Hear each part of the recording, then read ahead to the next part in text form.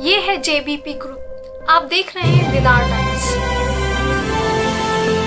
क्या घटना हुई आपके साथ? मेरी स्कूटी बाहर खड़ी थी। मैं मेरी स्कूटी टक्कर मार के इन लोगों ने गाड़ी से गिरा दी। मैंने जब विरोध किया तो छः सात लोगों ने मिलकर मेरे साथ मारपीट की प्लस छेड़खानी की। मैं चौकी इंचार्ज मैं चौकी गई तो चौकी इंचार्ज ने एक से इक्यावन लगा के इन लोगों को रफा दफ़ा कर दिया। ये हुआ मेरे साथ में। अब आप दोबारा थाने आई हैं ऐसा क्या हुआ? अब मैं यहाँ पे आई हूँ कि इस उम्मीद से आई हूँ कि मुझे यहाँ पे न्याय दिया जाए। ये कब की घटना है और आज इतनी तारीख को आप आई हैं? ये सत्ताईस तारीख की घटना है रात की।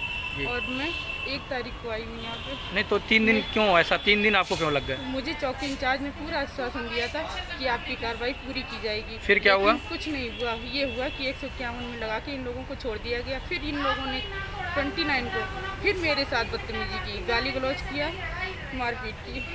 आपने इसकी शिकायत चौकी इंचार्ज से की कि आपने एक सौ इक्यावन लगा दिया? हाँ जी मैंने की मैं वहाँ गई थी चौकी इंचार्ज में रिसीविंग लेने।